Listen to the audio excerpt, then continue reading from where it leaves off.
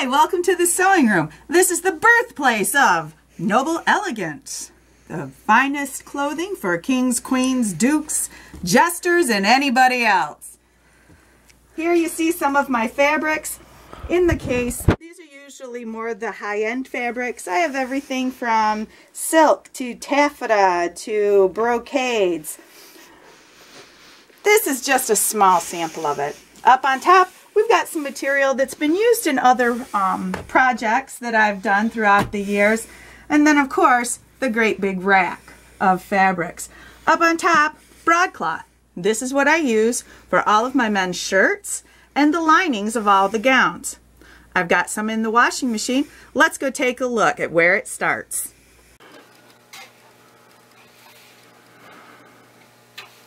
We start out what we do, you always have to pre-wash your fabric.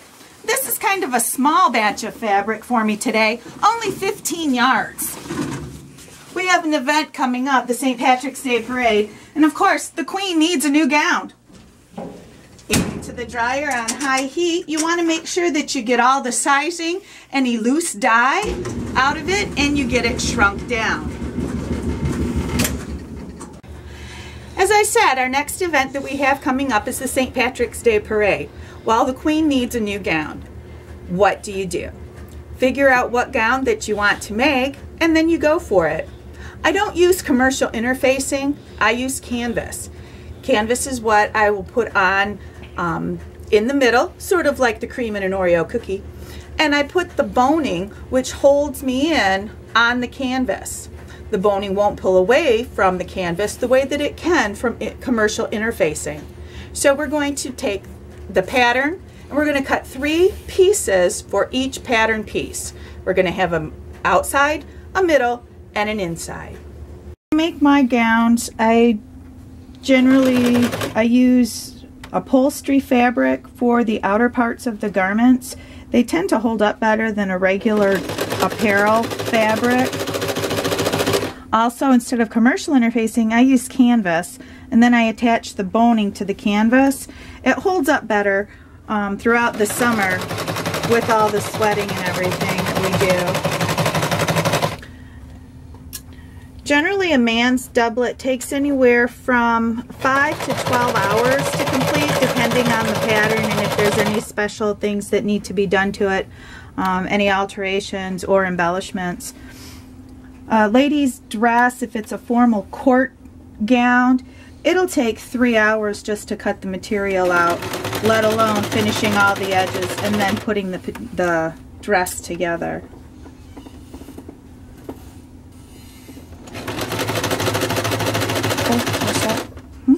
Here's the royal wardrobe. We have gowns of every type, color, shape, size, men's shirts, and, of course, the Archduke's doublets. We've got gold, we've got plaid, we've got blue, we've got pearls. We even have arming jackets for jousters. These are some of the specialty things that I create. This arming jacket is made for a man. Will go right underneath a suit of armor. Also do ones with Kevlar inserts so they don't get their armor bites. Up top you'll see hats. Of course the wigs parasols, and oop, unmentionable corsets. Every time I would on a gown, corset goes on underneath. Just wait till you get to see the dressing of the queen. Again, dresses of every color, shape, size, and the underskirts that go with them. If you take and you make an underskirt that is different colors, you can mix and match your gowns. This gold underskirt can go with three different gowns that I have in my wardrobe. Okay, now, I have my corset and my knickers on. Two very important things that you have to have on before you put any Renaissance garb. Next thing we're going to do, we're going to put on the chemise. The chemise is a loose-fitting undergarment that the ladies wear, and it's similar to uh, a long t-shirt.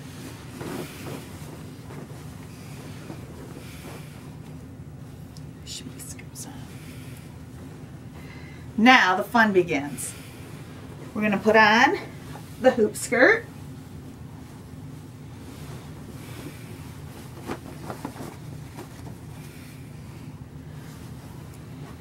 I didn't have wonderful Tudor sleeves on this chemise, it would be a little bit easier.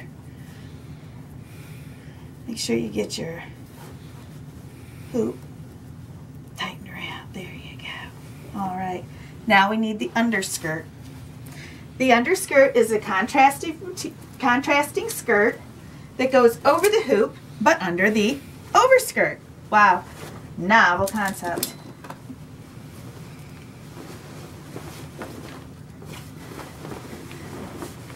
It's always easier to have somebody help you get dressed and now you can see why noble women had people help them get dressed.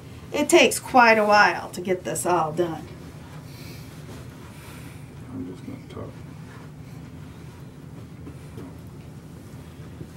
Next, we have the overskirt. This overskirt itself weighs approximately 15 pounds.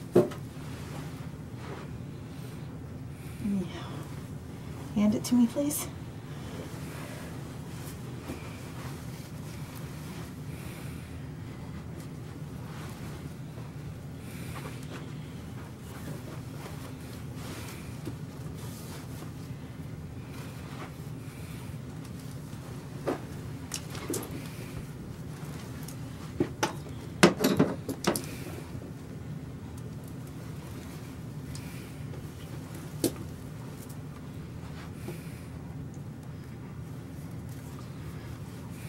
Sure that it's nice and snug. Last thing you want to do is be walking down the lane and have your skirt fall off. Been there, done that, don't want to go back.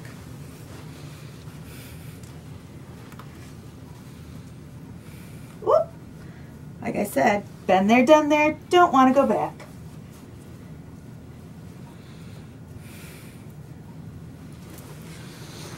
Next is the bodice. This bodice has lace off sleeves, so you can wear it with or without the sleeves.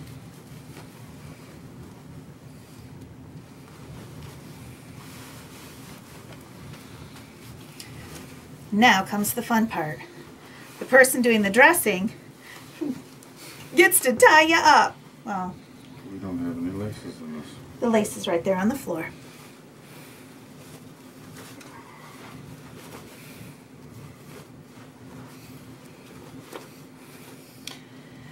Zippers weren't invented, we don't have that. We have to do plain old, everyday, ordinary lacing, similar to that that you would find on your shoes.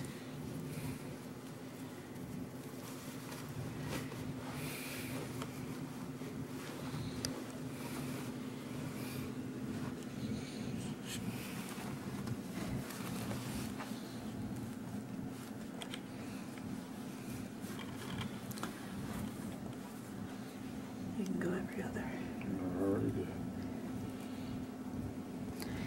mind. Each one of these pearls is individually hand sewed onto the gown itself.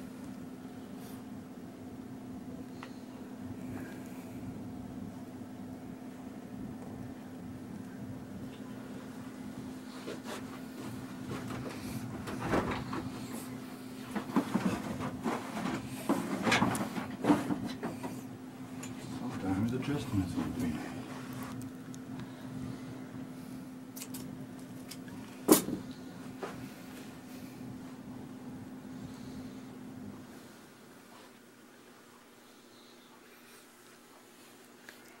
I wore this dress last the Ohio Renaissance Festival.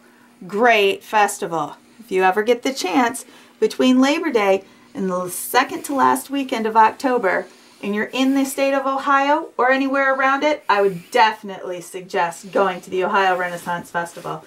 It's in Harveysburg.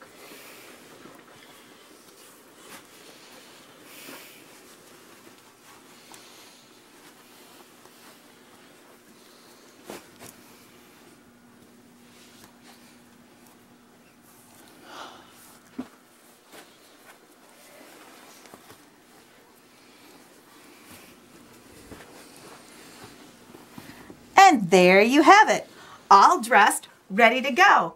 All I need now is my boots, makeup, and hair. That's another 20 minutes.